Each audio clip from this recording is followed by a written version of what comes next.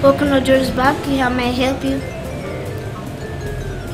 And y'all come down here and get y'all some of the biggest baked potatoes they got, man. It's real good, man. Over the years, I started with my father and uh, barbecuing in the neighborhood. A bunch of my friends used to tell me, well, how you need to start selling barbecue.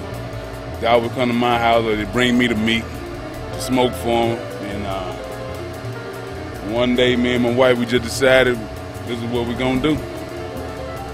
And this is what we're going to do from here on out. We don't plan on going anywhere. This is my passion, of course, and I just love to do it.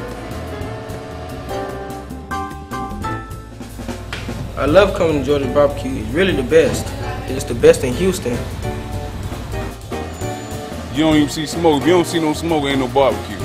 They baking it, they boiling it some kind of way. GBBQ, baby, I'm telling you. It's all about them links when you come here, huh? You can get them on a sandwich, you can get them on a plate with a side of baked potato, however you like it. The best barbecue homemade beef links in town. Come on by and check them out. GBBQ, baby, George's Barbecue, MLK. Come holler at us. The barbecue was good though, no no joke. But the hamburger, the hamburger was very tasty. I have to give him his credit Critter credit is due.